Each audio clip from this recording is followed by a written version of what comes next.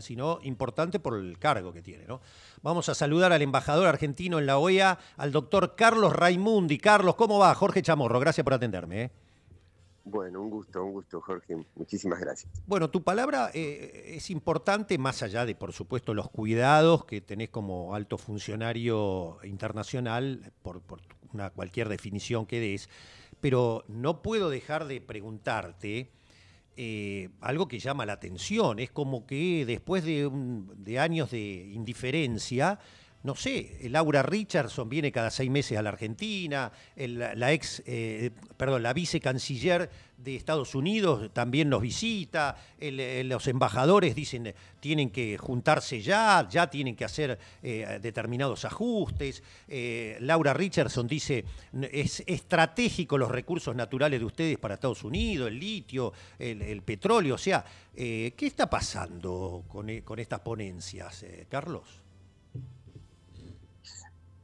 Mira, Jorge, yo tengo una posición muy, muy clara desde el primer momento sobre esto, de, toda la vida, digamos, pero en, este momento especialmente, de que nuestros países tienen una riqueza inconmensurable, tienen todo lo que necesita el mundo y todo lo que necesitamos nosotros, y tenemos que defender la soberanía nuestra para, para reafirmar que, esos recursos nos pertenecen, son recursos públicos, y que lo que no, no puede suceder es que vivamos en países inmensamente ricos y tengamos los, los problemas de pobreza que tenemos. Eh, vos fíjate que a raíz de, una, de, una, de un hecho lamentable y catastrófico como la guerra, que nadie quiere, pero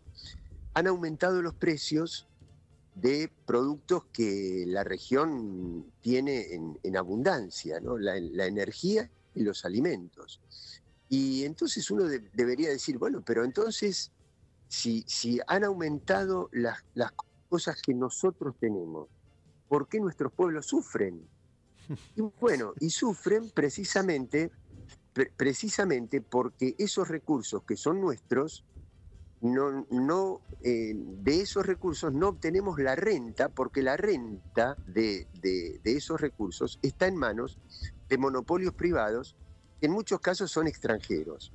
Entonces, lo que tenemos que hacer es recuperar nuestra soberanía. Yo no puedo impedir, no sé si hay algún mecanismo para impedir que haya funcionarios que nos visiten lo importante no, no es, imagínate si viniera alguien a visitarme a mí en, la Argentina. No puedo impedir que me venga a visitar. Lo importante es lo que yo le responda. Lo importante es la firmeza de la posición del, país. Y creo que eh, eh, yo además siempre he sostenido lo siguiente. Em, y, lo reafirmo una vez más, eh, em, por más poderosa que sea mi contraparte, por más, por más que, por más débil que esté la posición, en este caso argentina, en términos financieros, eh, etcétera, eh, yo creo que hay que sostener una posición de principios, porque cuando, y no hacer concesiones. Porque cuando, cuando la otra parte ve que vos eh, sos accesible a hacer concesiones, una vez que, una vez que ya te ubicó en ese lugar de que vos podés moverte de posiciones de principios, porque te sentís débil, porque te sentís condicionado, ahí es donde la otra parte comienza a usufructuar esa posición de debilidad. En cambio, yo creo que cuando la otra parte ve que vos no te vas a salir de un principio, no te lo pide, porque sabe perfectamente que no te vas a mover. Y esa es este, mi, posición. Vos sabes muy bien que cuando, y termino con esto, cuando se habla de las Américas como un todo, yo no estoy de acuerdo con eso, porque este es un continente que tiene dos países, Canadá y los Estados Unidos, que concentran alrededor del 70 y, más, eh, entre el 70 y el 80% del PBI de esta región que además son del G7 y además pertenecen a la OTAN. Y estos países de la OTAN nunca han sido proclives ni a nuestra soberanía entonces, hay una, un corte perdón, Carlos, perdón, los Carlos, de los países, aún cuando estén en América, aún, sí, sí. Perdóname, se cortó justo cuando dijiste estos países de la OTAN, es importante tu palabra. Eh, ¿Me escuchás? ¿Me escuchás? Bueno, estos países de la OTAN, ¿sí? ¿Vos me escuchás? Ahora sí, porque se cortó justo y ah. me interesaría que lo ah, repitas para que quede claro. No, sí, muy simple. Los, los países de, que pertenecen a la OTAN, aunque estén en América, nunca han sido proclives ni a nuestra soberanía ni a nuestra integración. Por lo tanto, las Américas son un continente en términos geográficos, pero hay una división entre los intereses de los países del norte desarrollado que están en América y los países del sur de América, a donde incluye inclusive México, ¿eh? porque México tiene una condición, por más que esté en América del Norte, es un país que ha sufrido las consecuencias eh, de, de, la, de, la, dominación, de la pérdida de soberanía. Así que esta es mi posición, Jorge. No, no, no, no, que sea funcionario o no sea funcionario, no me va a, sacar de la posición que, que tengo. Los recursos son nuestros y hay que defenderlos por más gente que nos venga a visitar. Bien, es más, en un momento, en un momento, en un momento de disputa de hegemonías, de disputa internacional, de disputa geopolítica, eh, puede ser que los Estados Unidos que sienten, puede ser, lo digo como posibilidad, que estén sintiendo que están perdiendo terreno en América y en el resto del mundo. Y entonces eso los hace como más agresivos, más ansiosos de estar encima. Bueno, eso a mí no me influye en absoluto y no nos tiene que mover un milímetro de la defensa de nuestra soberanía en la explotación y en la renta de nuestros recursos. Bien, le pregunto entonces ahora a, alguien como esta posición tuya, hace 20 años que siempre dijiste lo mismo, así que te pregunto ya como político, como dirigente político, dólar 430, Milei pidiendo dolarización, Patricia Bullrich dando a entender lo mismo, aún Rodríguez Larreta diciendo más gradual, no tan de golpe. ¿Qué significa todo esto? Y un gobierno que hasta ahora, perdón, vos formás parte del gobierno, pero no vemos demasiadas reacciones, Massa supongo que estará con los demócratas negociando algún préstamo, pero hasta ahora nada y la gente en el medio diciendo, bueno, los políticos tienen la culpa de todo. Y bueno, voy a empezar por esto último.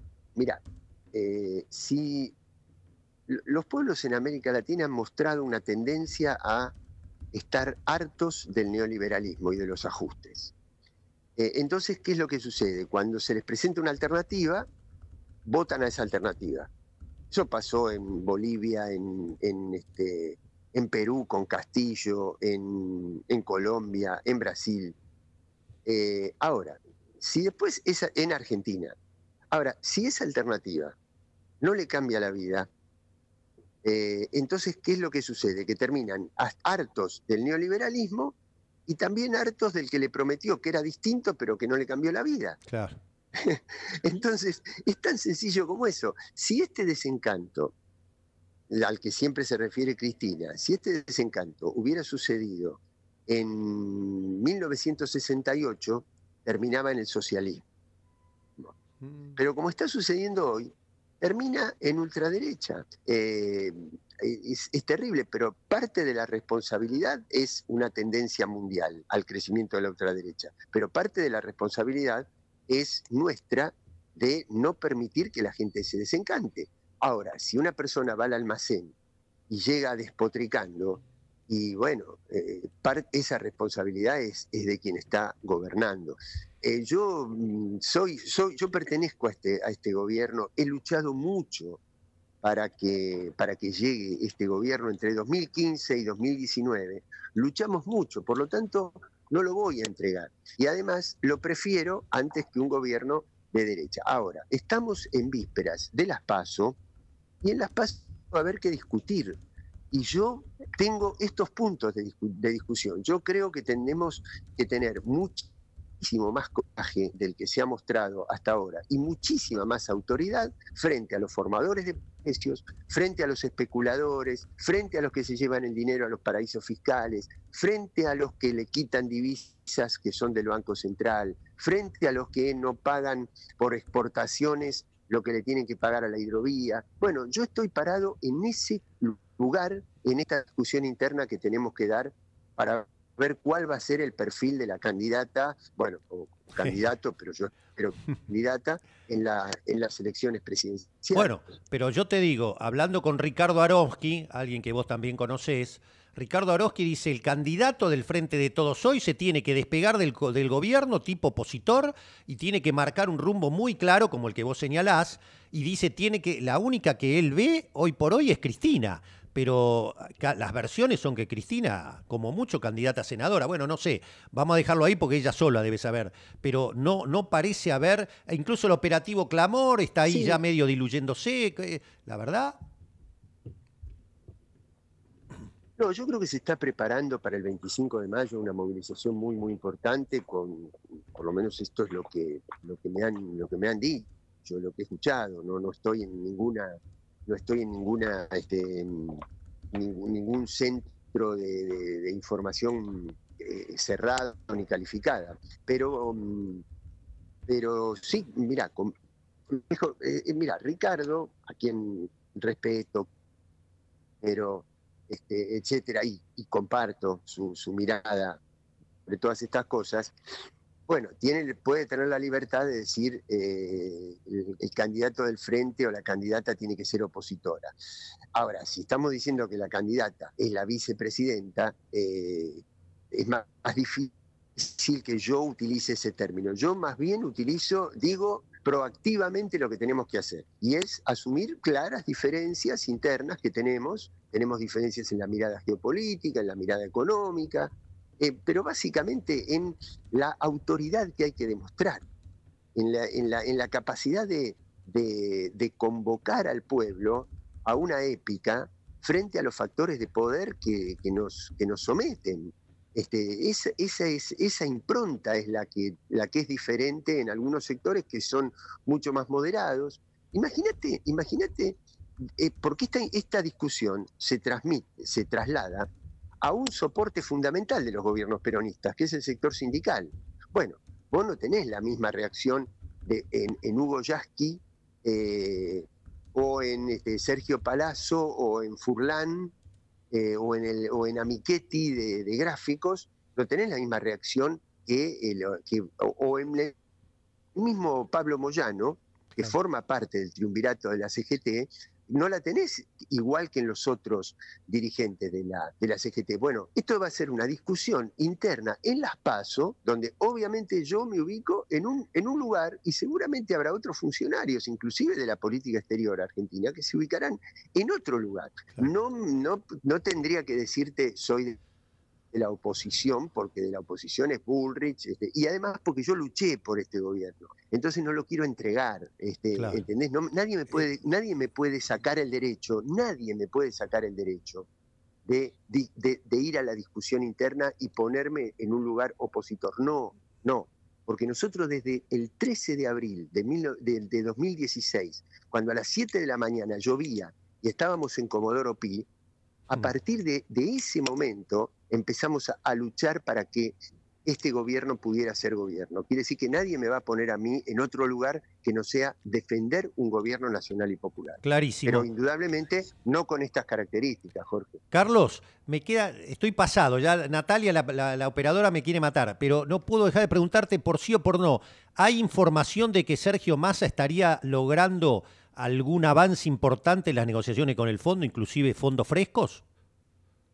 No, no lo sé, no lo sé, Jorge, sinceramente no. Está claro, está claro. Perfecto. No, ese obviamente está en plena negociaciones. Bueno, eh, quedamos en contacto como siempre, Carlos. Muchas gracias por atendernos. ¿eh?